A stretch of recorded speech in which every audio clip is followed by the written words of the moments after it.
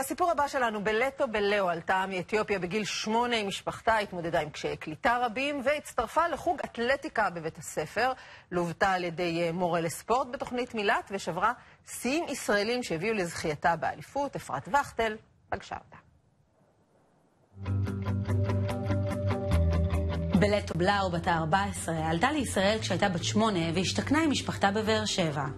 הגעת לישראל, ידעת עברית? בכלל לא. כלום? כלום, אפילו. א' ב'. איך קיבלו אותך? כאילו, הילדים לא התייחסו אליי, כאילו...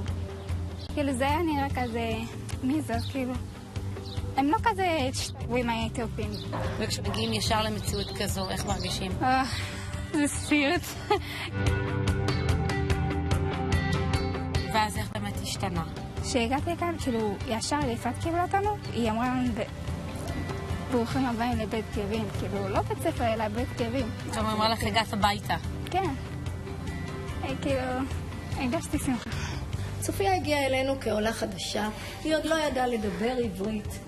אנחנו זיהינו כראשית את הכישרון שלה באתלטיקה, ובאמצעות מילת תגברנו במאמן אתלטיקה, בשעות נוספות, בנינו תוכנית אישית.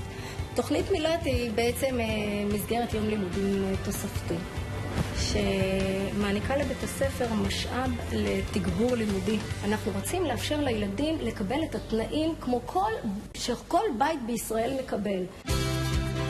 בלטו, שהצטרפה לחוג האתלטיקה בבית הספר, הפכה בתוך שנתיים לאלופת ישראל בזריקת כדור הוקי ושברה שיאים ישראלים. מהי העמידה הנכונה להטלת כידון? קודם להרים, ואז ליישר. מפה לקחת את ה- הרגל, ואז להוציא מהגב, ו... באתי. מה העניינים? בסדר.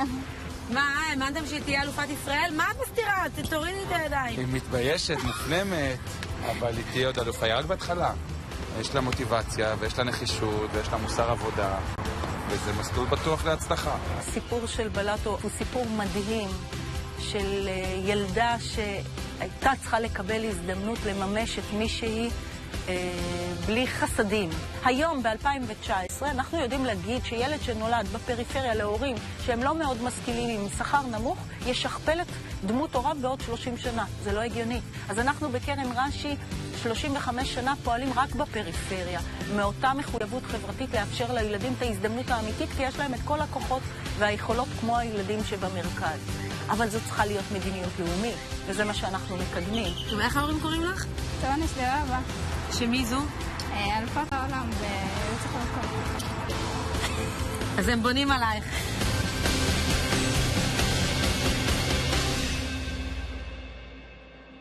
יפה, שיהיה לה בהצלחה. יום אחד אולי תהיה אלופת העולם. אולי.